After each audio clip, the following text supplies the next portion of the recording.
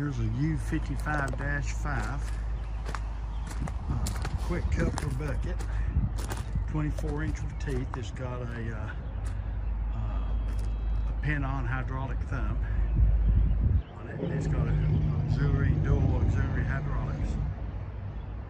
Very nice looking. It does have a lot of warranty on it. Uh, this four-way hydraulic blade. We're gonna put new and new tracks on it.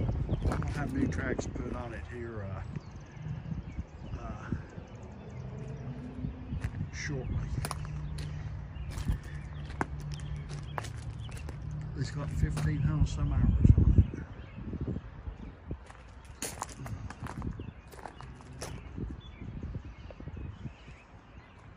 Very nice looking. Let's see right here a minute.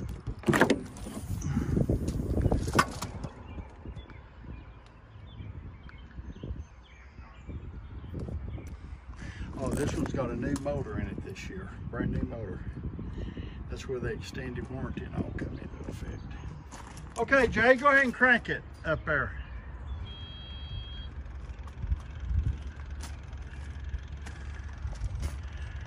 January the 4th, they put a new motor in it, serviced it completely. It's got a touch screen start on it.